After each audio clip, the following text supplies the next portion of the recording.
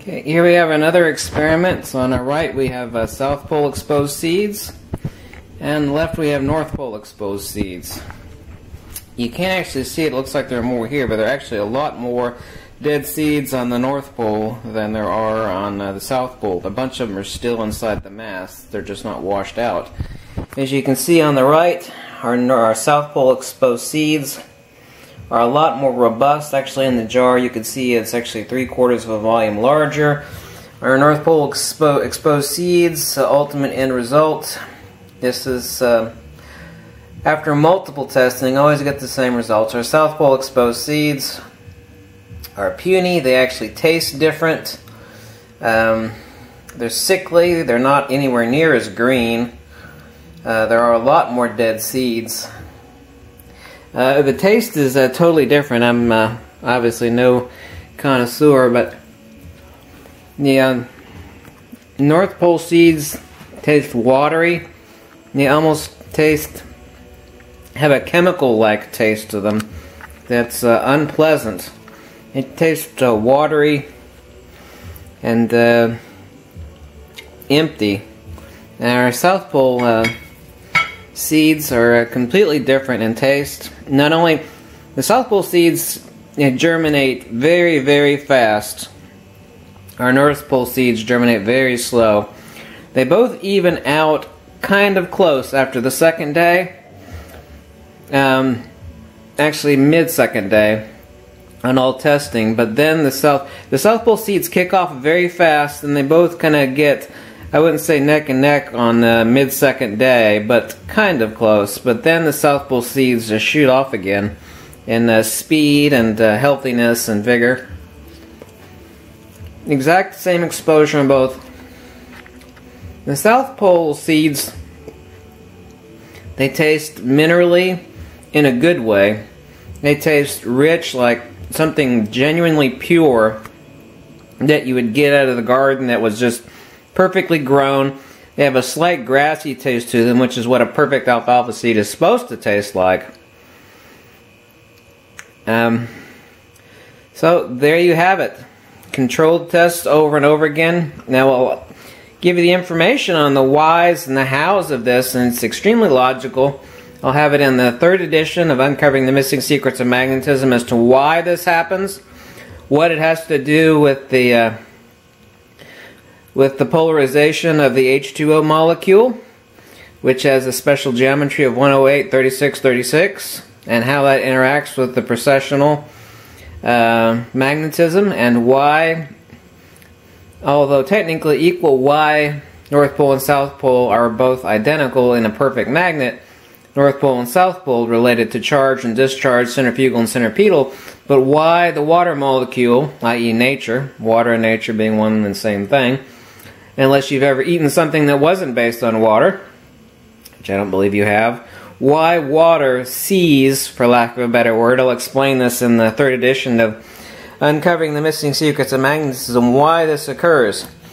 Not only do the South Pole seeds germinate faster and ultimately grow bigger and healthier and have fewer dead seeds, they taste better, they taste healthier, they taste genuine, kind of like a pure product does I don't want to say this tastes like a processed product. They both came from the exact same seed batches. Same test will show the same thing over and over again. A lot more dead seeds, a lot less robust. You can kind of see it here at an angle.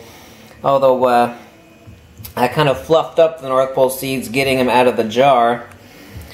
The South Pole seeds I, I uh, had to squish back together because they were so fluffed up in the jar from their uh, you know their their vigor of growth that I had to squish them back together so you didn't think I was uh, faking it.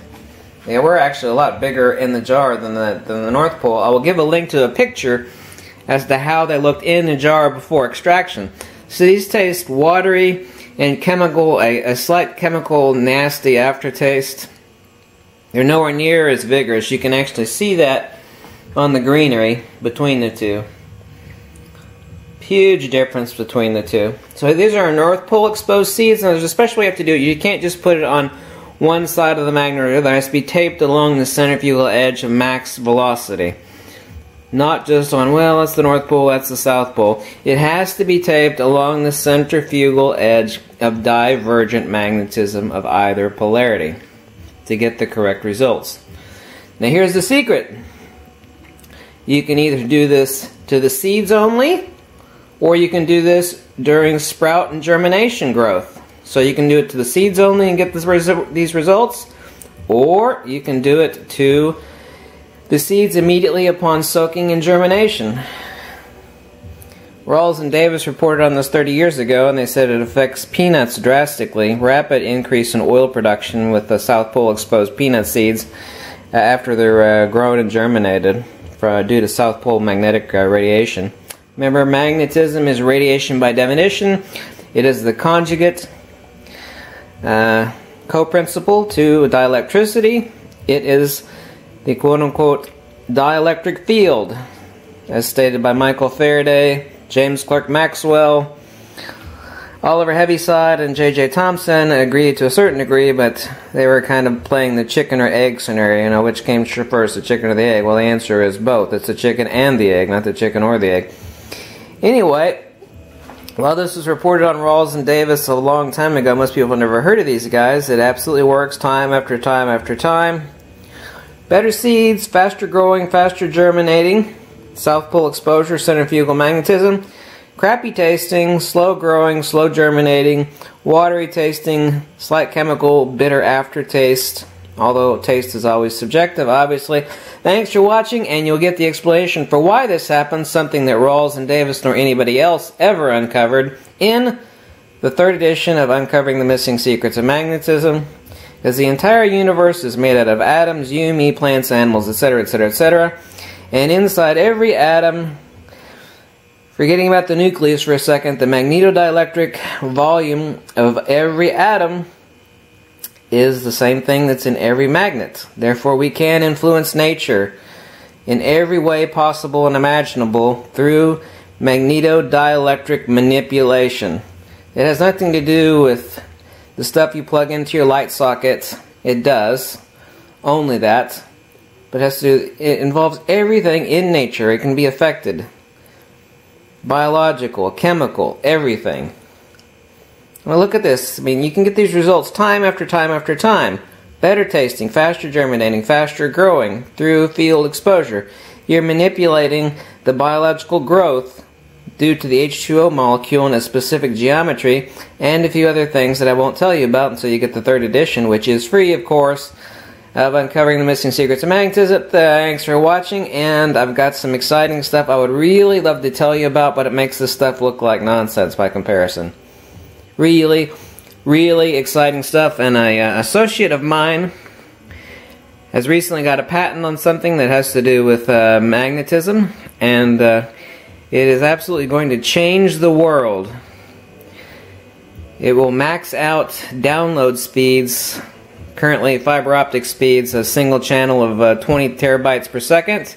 This has a potential of expanding download speeds. His uh, newly patented device to upwards of 60, 70, 80, maybe 100 terabytes per second. Can't give any more details, can't tell you the person, but he's got a patent on it. Thanks for watching, bye.